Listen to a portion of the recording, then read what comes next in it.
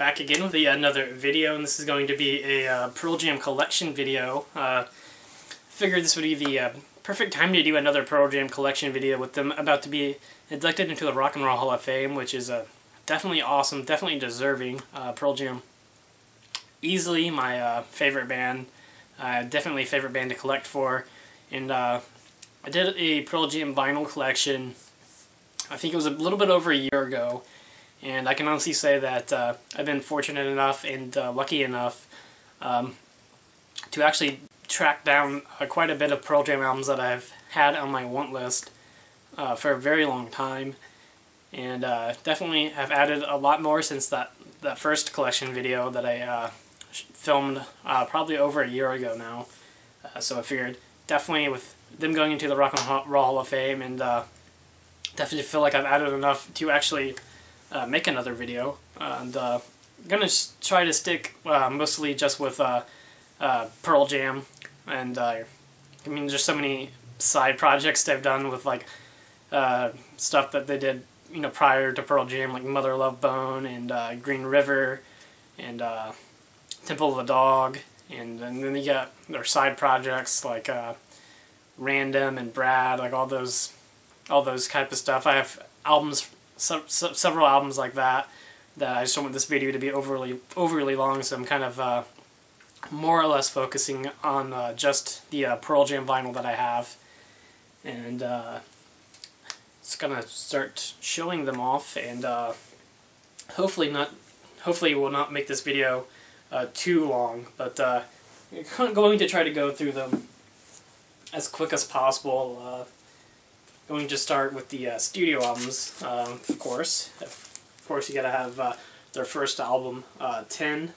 This is the original copy of 10, and then I do have the, uh, like, Pearl Jam, uh, one that came out with in, like, 2009. Um, it has uh, the original mix of 10 and the remix of 10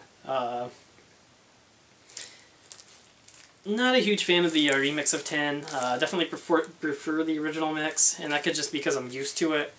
Uh, I've listened to the, the remix version maybe once or twice, and uh, it just doesn't really do anything for me. Uh, it just could, could be just because of uh, I'm more of a fan and more used to the original mix, but every time I listen to 10, I'm definitely going to go with the original over the remix. But, I mean, of course, I mean, first album, definitely iconic. And then from there you go with uh, Versus. Actually, I have two original copies of Versus uh, for some reason, but definitely can never have too many copies of uh, Versus. Just, I mean, so many great songs on Versus. And then you have Vitalogy. I do have the original 1994 uh, copy of Vitalogy, and I do have the 2012 uh, reissue of Vitalogy. Uh, honestly prefer uh, the original copy over the uh, the reissue, although I do like the fact that they split the reissue into two LPs, and this one's just on one, but uh, definitely sounds a lot better, uh, the original one does. And then, I mean, I kind of always throw this album as a part of the, the Pearl Jam albums. It's Neil Young Mirror Ball featuring Pearl Jam. this is an original 1995 copy just an amazing album. Uh, Neil Young was actually supposed to originally uh, induct Pearl Jam into the Rock and Roll Hall of Fame, but apparently it's going to be uh, David Letterman now. So hopefully, hopefully Neil Young's all right. But uh, nonetheless, fantastic album from uh, Neil Young and Pearl Jam. And you go with uh, No Code. And this is the original 1996 copy. And then I do have the uh, reissue that came out with last year. Uh, actually, I have two of them. At one point in time, I actually had the uh, grand idea of uh, trying to get all the Polaroids and uh, bought two of the reissues, and luckily, uh, two the two reissues that I did buy, they were different sets, but I figured I would probably end up with like 10 different copies of uh, No Code, and my luck, I would probably have, you know, most of the same set, so I figured I probably shouldn't uh, go with, with that anymore. Maybe just try to find the sets individually or something. And uh, and of course, the original copy of No Code I set that I have when I bought the my my first reissue of No Code it was the same set that was in that one. So go figure. but I do have uh, I do have an original copy of Yield, and then I do have the uh, reissue of uh, Yield as well that came out with last year.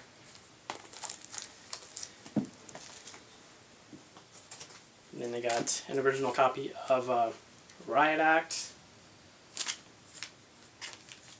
Absolutely love Riot Act. It's a great album. I probably say that with a lot of uh, Pearl Jam albums. That was really, uh, depending on the day, I'm sure my favorite album from Pearl Jam will change uh, constantly. And then an album I just picked up not too long ago. I Actually, just did a uh, video uh, showing a really in-depth look at it. And it's Pearl Jam Lost Dogs. Uh, this is an original uh, 2003 copy that I actually bought uh, sealed and I actually did a sealed to reveal type of video um, just in just about a week or two ago. So uh, definitely check that out if you want to get a more closer look at this album. And uh, definitely not going to take it out of the sleeve and show it. I don't really need to make this video any longer, but just an amazing album. A lot of cool B-sides and rarities. And then you got uh, Pearl Jam Avocado. This is the original uh, 2006 copy. I also do have the uh, counterfeit bootleg copy that came out with uh, a couple of years ago. And this one is on blue vinyl. Uh, definitely can't go wrong with Avocado. I bought this one actually first, the uh, bootleg avocado, bootleg unofficial counterfeit, whatever you want to call it. Uh, then I got lucky and actually came across um, this one and had to pick it up. So uh, definitely a lot of great songs on, on uh, Avocado. then you got uh, Backspacer. It's a really uh, cool album as well. Um, a lot of people's probably least favorite album from Pearl Jam Backspacer, but uh, I mean, I can honestly say my least favorite Pearl Jam is probably one of my still one of my favorite albums uh, altogether. Because um, to me, they really don't have a bad album. Uh, and of course, uh, their last album that they came out with back in 2013, it's a Lightning Bolt. Um, an album that uh, when it first came out with, and uh, I really wasn't a huge fan of it, but the more and more I listen to it, I really do enjoy it. It's a really solid album. Honestly like a, a better than Backspacer. Um, and like I said, I mean Pearl Jam, like their worst album is still very, very, very good, and uh,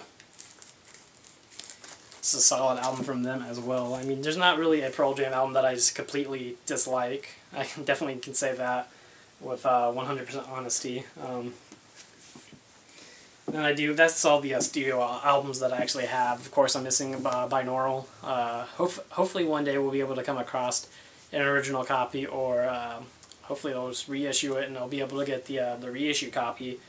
But uh, not not holding my breath that it's going to happen anytime soon. But uh, you never know. But I do have a few like live albums and kind of bootleg albums to show as well. These are uh, unofficial live albums that you know just kind of find uh, various stores. Uh, this is Pearl Jam live in Chicago, uh, March 28th, 1992. At least that's what the that's what it says on the uh, cover. Then I have uh, live from Melbourne, Australia, March 5th, 1998. Cover is really just nothing really that spectacular to look at. It's just a it's actually just a white sleeve with a piece of paper with the set list in it. Then I have uh, Pearl Jam 5 Alive, which is uh, from February February 22nd, uh, 1992.